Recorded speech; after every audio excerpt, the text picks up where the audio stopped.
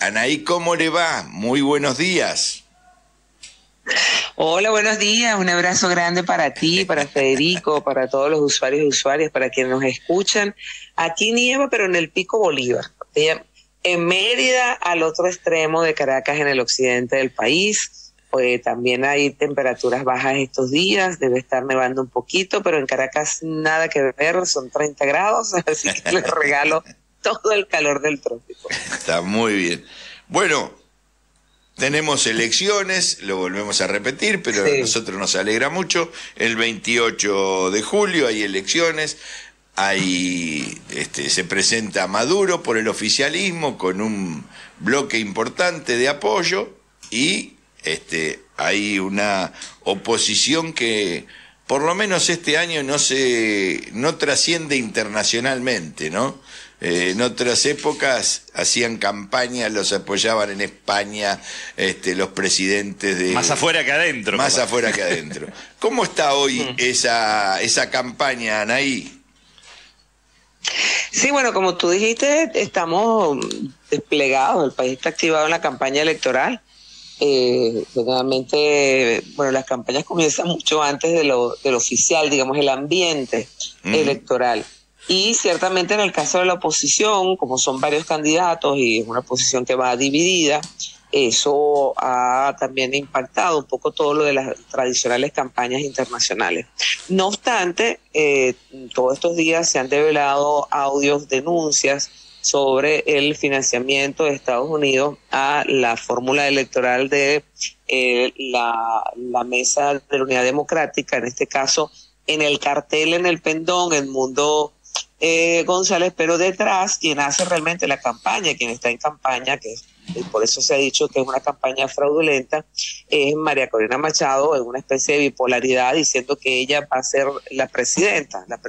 la que va a estar detrás del candidato porque el candidato no sale de su casa. Y de ahí se han develado muchos audios de eh, actores de Estados Unidos presionando porque el candidato debe salir, inclusive eh, eh,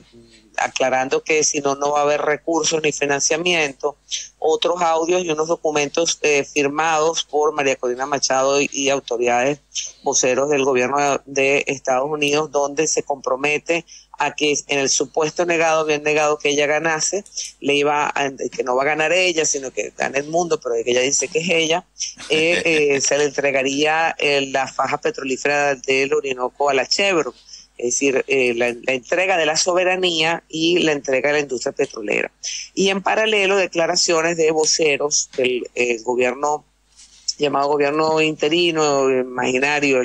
de Juan Guaidó, en Estados Unidos, que todavía se creen embajadores de ese gobierno, porque es que nuestra oposición es lamentablemente ese sector de la oposición muy bipolar, eh, en que declaran en escenarios del Congreso y con eh, los lobistas estadounidenses que eh, es correcto que se entregue el territorio, la Guayana Esequiba y que Estados Unidos bueno, eh, hay que entregarle el, el, terreno a la Chevron Texaco. Y eso es coherente con eh, declaraciones que hubo incluso eh, que se filtraron también de la embajadora de entre comillas, del gobierno entre comillas, de Juan Guaidó en su momento en Estados Unidos, en que ella declaraba que era importante que no se tocara en ese momento el tema de la Guayana, la, la, controversia territorial con la Guayana Esequiba, porque ese territorio debía ser entregado porque afectaba las negociaciones con la Chevron Texaco y el financiamiento que estaba teniendo ese sector de la oposición.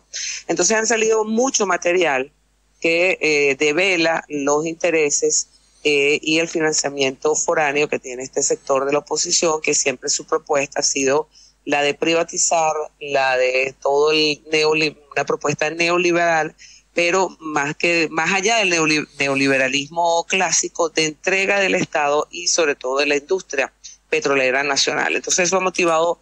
mucho debate y un elemento más de división y debate dentro de las oposiciones venezolanas, que además tienen como 11 candidatos, que por cierto, algunas fórmulas de ellas se han estado eh, moviendo bien, han logrado tener movilizaciones en estados porque, bueno, representan, expresan a esa oposición que viene ganando gobernaciones, que viene participando en la Asamblea es decir, que viene teniendo eh, vocería territorial, lo que en su momento se, se llamó la rebelión de las regiones dentro de todo la situación de la, de la oposición en Venezuela. Así que por eso es que no hay, eh, eh, tienen esa, esa administración, ese impacto a nivel internacional, pero sí siguen teniendo mucho financiamiento y expresan todo el interés que tienen la, las industrias petroleras, las empresas petroleras estadounidenses, sobre todo la ExxonMobil, que ha estado vinculada con muchos golpes de Estado en la región y el financiamiento de, acciones de desestabilización en el país. Por el otro lado, todo el grupo, digamos, más de los 12 organizaciones políticas, y entre ellas el Partido Socialista Unido de Venezuela, que sigue siendo uno de los partidos más grandes de América Latina,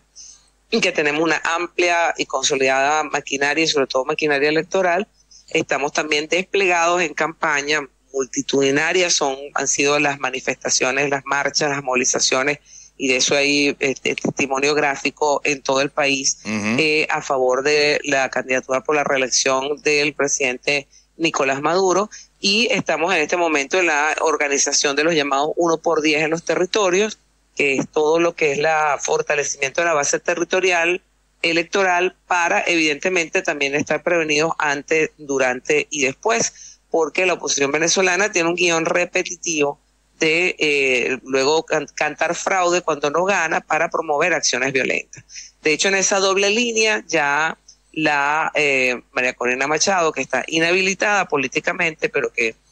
está en una especie de situación psiquiátrica, diciendo que ella es la, la, prácticamente la candidata, ya ha comenzado a declarar que eh, va a haber un, las elecciones en Venezuela son fraudulentas y ya hemos comenzado a notar algunas declaraciones de algunos organismos que siempre declaran la Unión Europea, la Comunidad Europea y otros,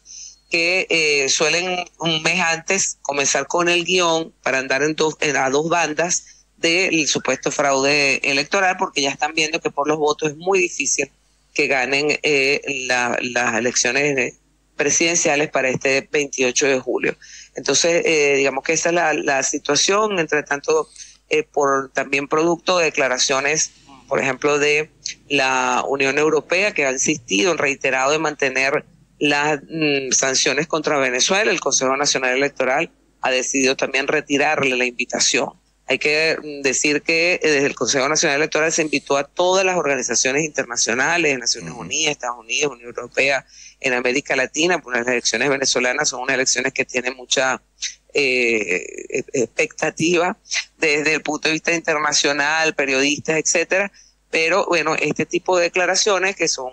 y que han hecho injerencistas, que son una frente a la soberanía, y ha motivado que entonces el Consejo Nacional Electoral le retire su invitación como eh, veedores del proceso. Hay que decir por otra parte también que eh,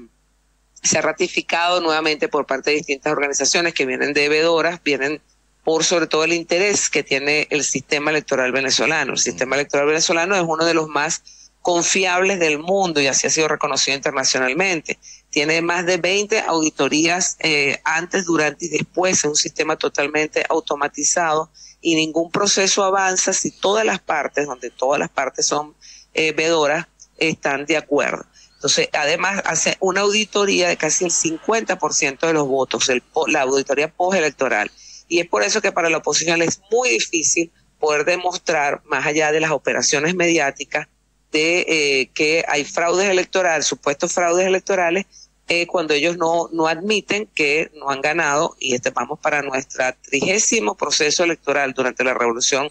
venezolana, de los cuales ellos solo han ganado dos. Claro. Ahí es muy interesante, no sé si tenés algún minutito más de tiempo. Eh, sí. Eh, dos cosas. Uno, lo de las auditorías, que no es un proceso que solamente se abre el día de la elección, creo que lo dijiste, pero no lo, quiero ratificar, sino que ya se viene trabajando antes, con lo cual se le van quitando posibilidades de la denuncia de fraude, más allá que cada uno puede hacer lo que quiera, como, como vos contás con Corina Machado, pero se están dando garantías previamente, meses antes, para que se vea cómo eh, va, eh, se va a desarrollar el proceso durante ese día y después de las elecciones. Yo fui como observador y pude, pude eh, ver eso. Pero hay algo que me interesa, por ahí que profundice desde lo político, porque me llamó la atención escucharte. Eh, creo que está muy zafada la derecha internacional apoyada por Estados Unidos. Digo, con esto de decir que ya hablan en contra de la soberanía. Acá en la Argentina el otro día, el último discurso de Milei, no solo que va y ataca al Estado Nacional, sino que también dice que lo mejor que puede pasar en el capitalismo son los monopolios, porque abaratan los costos, y no los monopolios estatales, sino los monopolios privados. Digo, ellos están dando una batalla cultural, no había escuchado que fueran tan groseros en un país como Venezuela, ¿no? Que también hablaran en contra de la soberanía. Digo, hay una intención ahí de colonización muy fuerte que seguramente no va a prosperar por, bueno, por cómo es la campaña y la discusión de, del PSV y los militantes este, chavistas de discutir con la gente durante mucho tiempo, durante toda la gestión. Sí, pero, eh, pero eso es una constante en ese sector de la derecha venezolana. Es decir, todo, todo, eh, recordemos que esa derecha es financiada por eh, Estados Unidos y es una derecha que ha estado promoviendo todo su objetivo de promover acciones de violencia, lo que fueron las, las guarimbas, de los intentos de golpe de Estado, de los intentos de injerencia y eh, de, invasión prácticamente a través de mercenarios en Colombia, todo al final tiene el objetivo de eh,